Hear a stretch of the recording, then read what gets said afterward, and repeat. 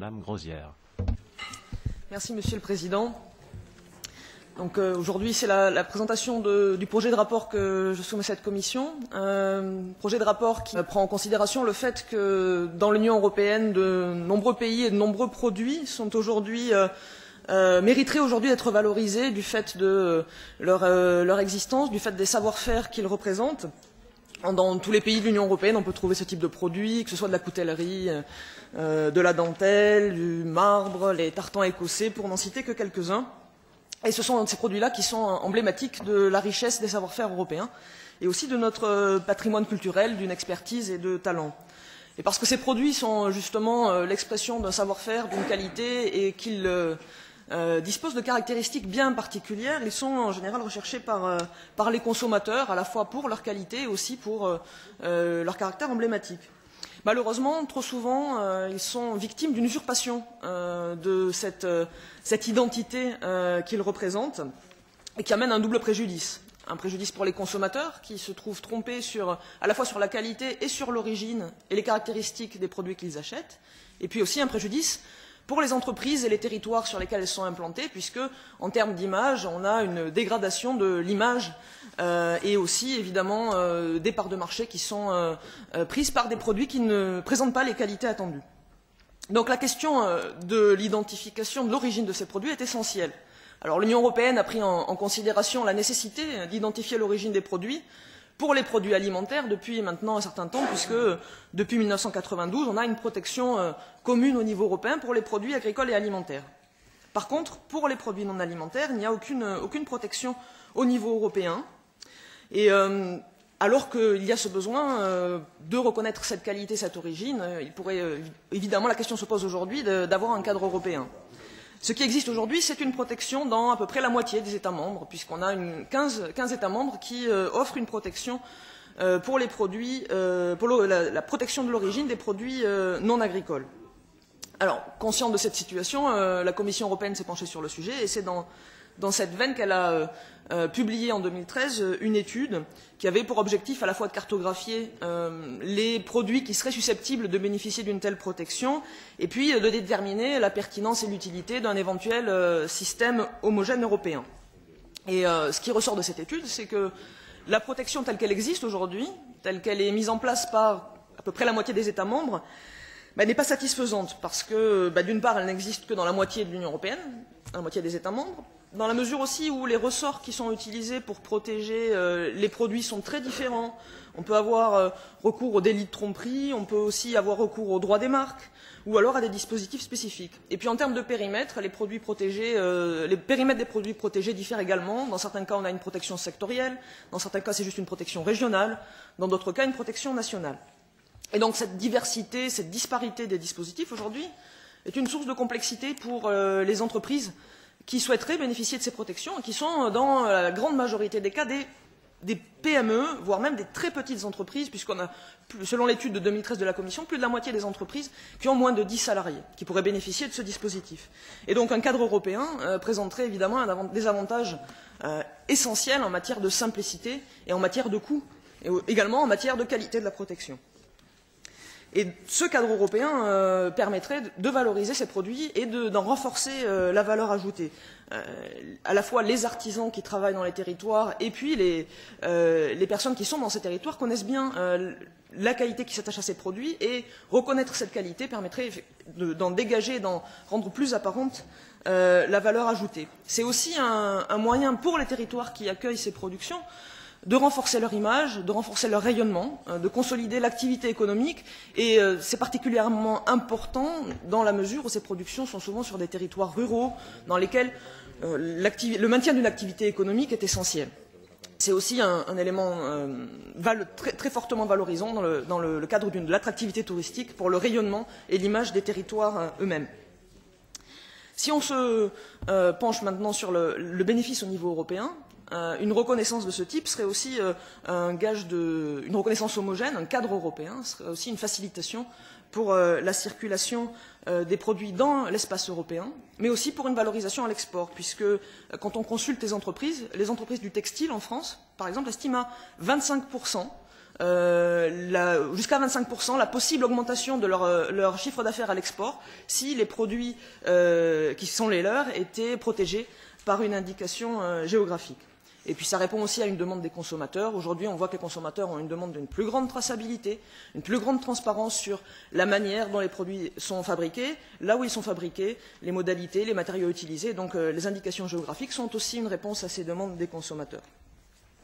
Aujourd'hui, comme, euh, l'étude de la Commission le montre, la disparité euh, des euh, systèmes nationaux de protection ne permet pas une protection efficace et donc la conclusion qui semble s'en dégager et que je propose dans mon rapport, c'est de demander une protection, un dispositif de protection à l'échelle européenne.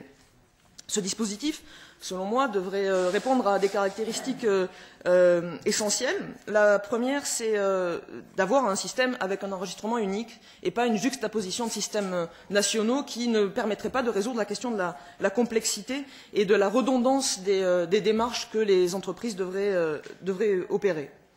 Ensuite, ce système devrait représenter un coût et une charge administrative limitée, parce que, comme je l'ai dit, ce sont des, petites entreprises, voire des très petites entreprises qui sont concernées. Et puis, euh, Euh, euh, ce dispositif d'indication géographique devrait aussi reposer sur un système de cahier des charges qui soit à la fois transparent et non discriminatoire vis-à-vis -vis des entreprises qui rempliraient les conditions et qui souhaiteraient rentrer dans ce système. Et enfin, ce système d'indication géographique doit bien sûr établir le lien entre les produits et les territoires pour s'assurer qu'on a là un levier de maintien de l'activité économique dans les territoires européens. Dernier point, et euh, assez essentiel, puisqu'on est là sur un signe distinctif au titre de la propriété intellectuelle, qui s'attache à l'origine, le système devrait permettre une coexistence avec le droit des marques, pour, euh, comme c'est le cas aujourd'hui pour les indications géographiques agricoles, permettre une coexistence entre ces deux systèmes sans que, euh, en limitant au maximum les conflits et les recours. En termes euh, de, gains d'activité économique, de croissance de l'activité économique, les bénéfices sont euh, aujourd'hui largement démontrés dans le domaine agricole. Par exemple, en France, sur la filière laitière, on considère que c'est euh, presque 2,8 euh, emplois supplémentaires, qui ont euh, 2,8 fois plus d'emplois qui ont été créés grâce à la reconnaissance de l'indication d'origine. Dans un autre secteur, pour le jambon de Bayonne par exemple, l'étude à l'occasion des 10 ans de l'indication géographique montre que euh, 1000 emplois de plus ont été créés dans cette filière, alors que sur une base de départ de 3000 emplois.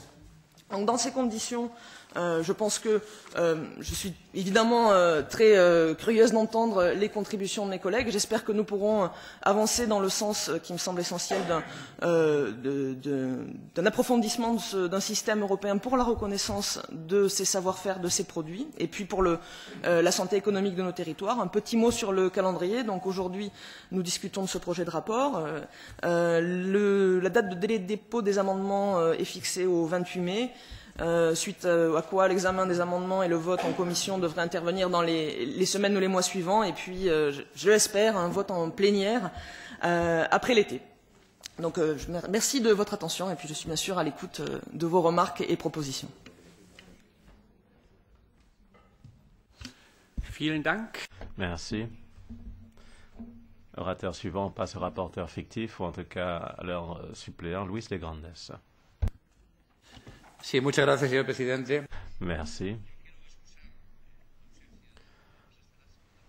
Madame euh, Rosa Estaras, qui est rapporteur fictif du PPE, ne peut pas être présente. Elle euh, vous présente ses excuses. Elle m'a demandé de la représenter, ce que je fais volontiers. Et par conséquent, Madame rapporteur, ce que je vais dire, ce ne sont pas mes mots, c'est plutôt le, les commentaires que le rapporteur fictif souhaite relayer. Alors, je vais prendre lecture des notes qui m'ont été fournies. Alors, je partage encore plus les idées qui euh, ont mené à la rédaction de ce rapport. Elle m'a demandé de vous féliciter. C'est un rapport euh, raisonnable. Il y a du bon sens dans ce rapport. Et s'il y a des amendements que l'on peut déposer pour améliorer le texte, on peut d'ores et déjà dire qu'il y a des éléments très positifs qui méritent tout notre soutien. Alors c'est vrai, il y a les produits agricoles. Produits agricoles dont le Parlement s'est occupé. Il s'agissait de garantir leur certification. Il fallait agir sur le plan de la concurrence. Il fallait rendre ces produits plus attractifs. Mais on se rend compte qu'il y a d'autres éléments de la tradition européenne tradition extrêmement riche qui ne bénéficie pas d'une telle harmonisation. Et par conséquent, il y a une dispersion juridique puisqu'il y a une fragmentation en fonction des pays qui euh, défendent leur particularisme. De l'avis du rapporteur fictif, Mme Estaras, il faudrait une harmonisation. Et moi aussi, je le pense. Ce serait bon pour les PME qui exploitent légitimement ce genre de produits et qui créent des emplois. Et ce n'est pas une question mineure, c'est une question importante.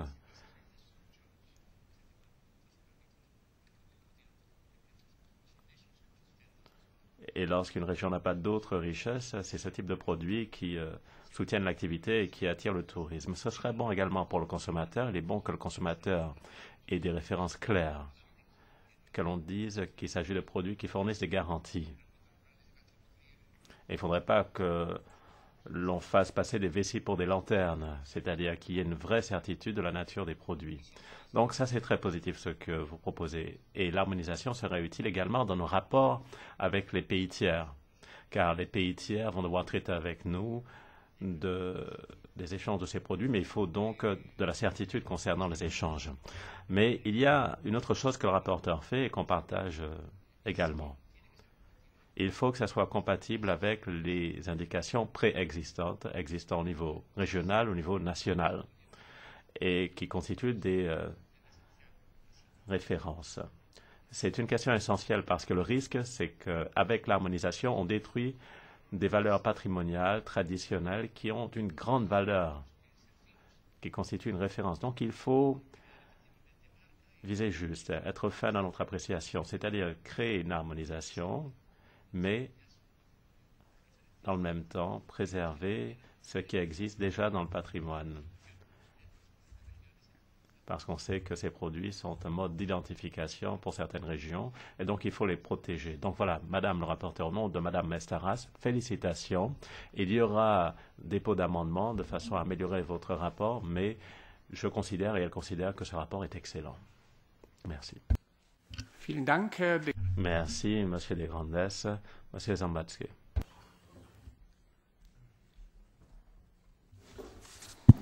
Thank you, dear colleagues. Merci, Président. Chers collègues, je vais parler dans ma langue maternelle.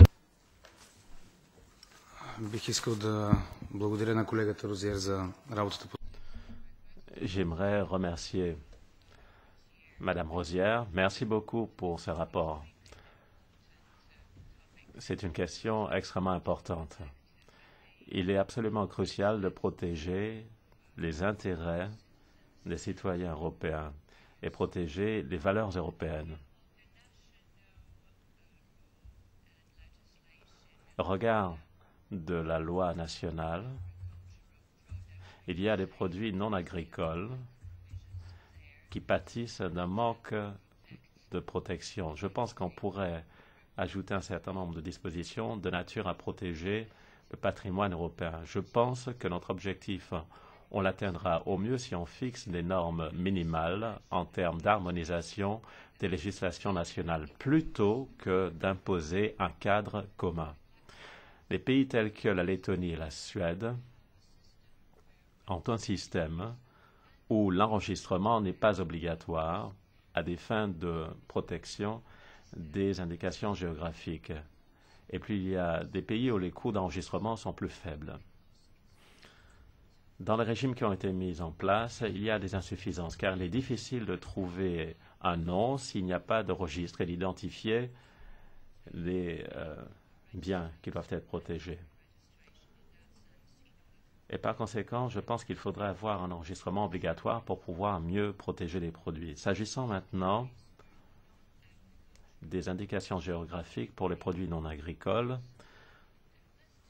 je pense que l'on pourrait suivre les systèmes déjà existants pour pouvoir fournir une protection à ces indications dans le cas où il y aurait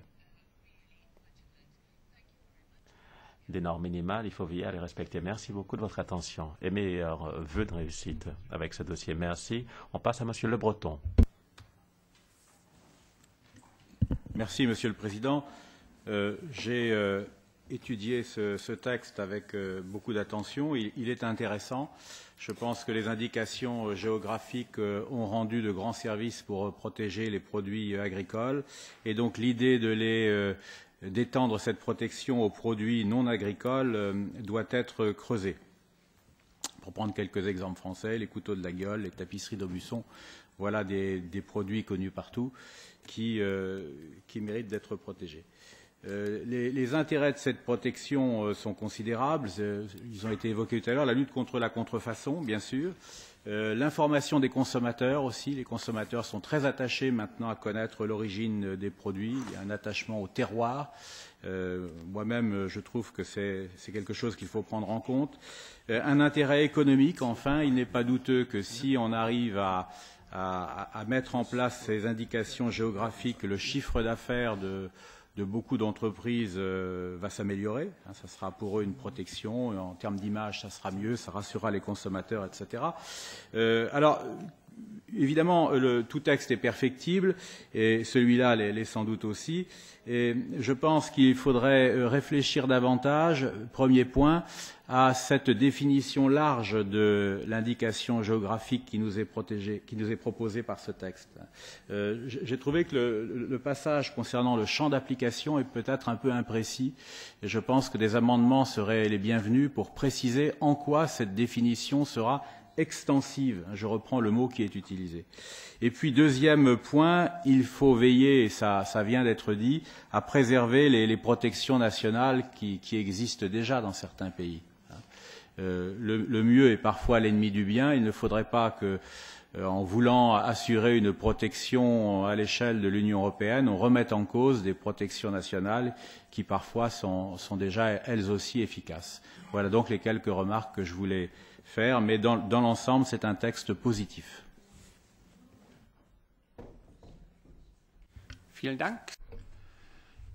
Merci beaucoup. Monsieur Anderson. Jag börjar med att tacka rapportören Mm. Merci beaucoup, rapporteur. Je ne suis toujours pas totalement convaincu de l'opportunité d'étendre la protection des indications géographiques à ces produits non agricoles. Mais bon, j'écoute mes collègues, je m'informe.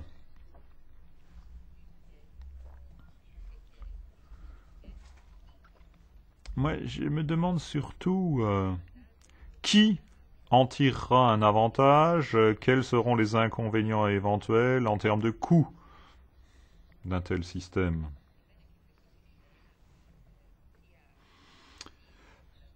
Il faut que le système euh, soit positif pour tous les protagonistes, pour toutes les parties prenantes. Interruption du président. Je n'ai pas de traduction.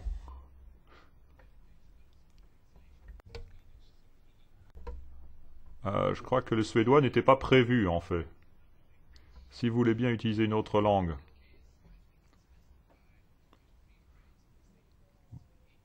Bon, bah écoutez, je vais passer à l'anglais.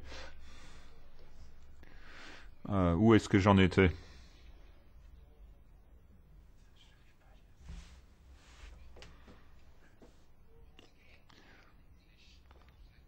D'abord, en anglais aussi, je voudrais d'abord remercier notre rapporteur pour son travail. Je ne suis toujours pas convaincu que l'extension prévue soit une bonne idée. Mais bon, j'essaye euh, de voir euh, quels pourraient être les avantages euh, de la formule. Mais surtout, je me demande quels seraient les avantages de cette extension s'il n'y aurait pas des perdants et quels seraient les coûts pour faire fonctionner le système? Il faut que le système soit globalement euh, positif. Et comme toujours, euh, le diable se cache dans les détails. Je voudrais que notre rapporteur me donne des détails sur son point 18.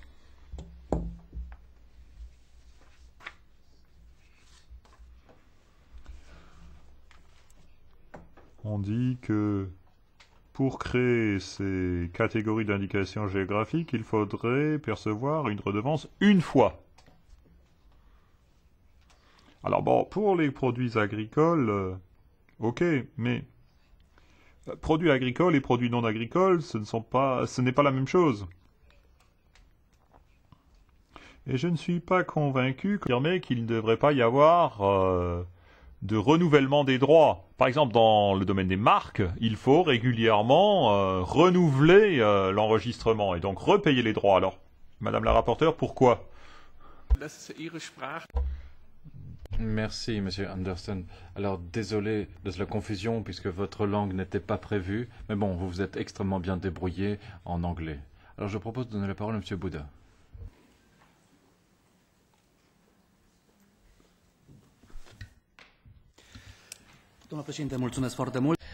Merci, Monsieur le Président. Je souhaite féliciter Madame la rapporteure pour euh, son effort. En même temps, j'aimerais répondre à Monsieur Anderson concernant ceux qui auront à gagner suite à ce rapport. Certainement, ceux qui auront à gagner seront les consommateurs, d'une part, d'autre part, les producteurs aussi, puisque les producteurs ressentent ce besoin d'être protégés pour ce qu'ils produisent. Et il faut penser euh, au rapport que la Commission nous a proposé, pour les produits actuels, mais 97% des consommateurs souhaitent être informés sur les produits qu'ils consomment. Et je ne pense pas seulement aux produits alimentaires, mais tous les autres biens, puisque c'est l'intérêt du consommateur à savoir ce qu'il consomme, qu'il s'agisse de vêtements, d'une voiture, d'autres types de biens. Euh, de, euh, de consommation. Voilà pourquoi je pense qu'il faut qu'on ait une réglementation unique au niveau européen en ce qui concerne les indications géographiques, puisque ce qui se passe au niveau national, c'est très divers, c'est très fluctuant. Dans certains euh, pays, euh, la législation est très ferme, c'est strict, c'est le cas de la Roumanie.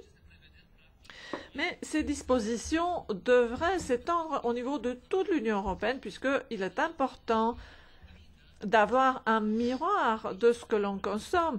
Nous voulons euh, euh, connaître exactement ce que l'on consomme. Certes, on voudrait éviter euh, une charge administrative euh, trop lourde, mais il faut également protéger nos produits de consommation. Merci beaucoup. Merci. La Commission souhaite-t-elle dire quelque chose, Monsieur Koenig?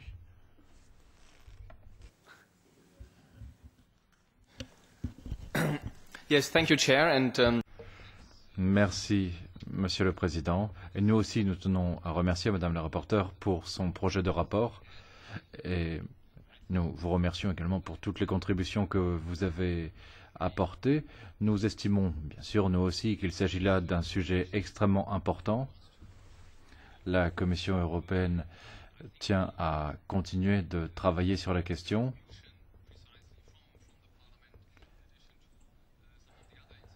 Alors, le Parlement européen a apporté une contribution, à l'instar du euh, CDR ou du comité communiqué social, et toutes ces contributions sont très importantes pour euh, déterminer le cap à suivre. Et pour que les choses soient claires, je dirais que la Commission n'a pas encore décidé euh, dans quelle direction elle va s'engager, puisque justement nous attendons vos contributions très précieuses et qui euh, touche à, des, à tous ces sujets qui ont été cités. Donc, quels étaient les différents liens avec les autres systèmes? Il ne faut pas créer une charge administrative excessive.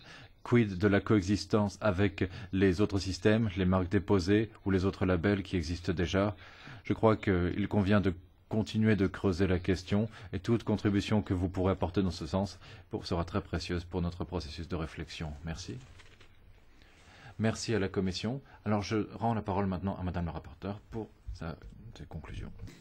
Je tâcherai d'être brève, Monsieur le Président. D'abord, je voudrais remercier tous, euh, tous les collègues et, euh, pour leurs euh, leur remarques extrêmement utiles euh, et puis pour leur soutien et l'accueil favorable qui est réservé à ce rapport. Je vais essayer de répondre rapidement sur euh, les questions particulières qui ont été euh, levées. Oui, la coexistence, euh, c'est un, enjeu majeur, la coexistence à la fois avec euh, le droit des marques et avec euh, la reconnaissance d'indications géographiques dans les dispositifs nationaux, ce sera vraiment un des, points, je pense, à creuser euh, lorsqu'il lorsqu sera question d'avancer plus précisément sur euh, la définition de ce dispositif. Et je serai ravi de pouvoir travailler avec vous sur la définition de ces points. Sur la question de l'opportunité, la question mérite d'être posée. Aujourd'hui, il y a quand même une demande forte à la fois des consommateurs et d'un grand nombre d'entreprises. Alors la question qui se pose ensuite, qui est qui gagne, qui y perd euh, mais je pense qu'en la matière, justement, à partir du moment où on emménage correctement la coexistence entre les différents types de reconnaissance, l'idée est que personne n'y perde, si ce n'est les entreprises qui contrefont ou qui usurpent l'identité, mais simplement de permettre, euh, que ce soit un gain pour les entreprises qui justement s'inscrivent dans cette démarche à la fois de, qualité, de, euh, de et transparence pour les consommateurs. Donc le but est vraiment d'apporter un, une plus-value à certaines entreprises sans pour autant créer ni de barrières ni de préjudices pour d'autres. Et donc d'où l'importance de la coexistence euh, des dispositifs. Sur la question de la redevance renouvelable ou une fois pour toutes, L'idée pour une redevance simplement euh, euh, payée une fois pour toutes, c'est qu'on euh, n'est pas sur euh, quelque chose qui relève euh, d'une propriété au sens de la propriété intellectuelle, mais bien d'un signe distinctif qui est ouvert à l'ensemble des entreprises qui répondent à certaines conditions. Et euh, l'idée est, de, de contribuer au système à partir du moment où on s'inscrit dans le respect d'un cahier des charges, à la fois pour assurer le contrôle de ce cahier des charges, On peut imaginer un renouvellement du contrôle du cahier des charges avec à ce moment-là une prise en charge des coûts qui peuvent y être associés, mais comme on n'est pas sur une, propriété intellectuelle au sens du droit des marques, la question d'une contribution annuelle est, moins justifiable et on s'approche plus d'un système tel qu'il existe aujourd'hui pour les indications géographiques agricoles. C'est du moins euh, le schéma euh, tel qu'il est proposé aujourd'hui, mais bien sûr c'est un, sujet comme d'autres qui est ouvert à la, discussion. Et merci encore aux collègues pour euh, leur contribution et, à la Commission pour euh, ses remarques.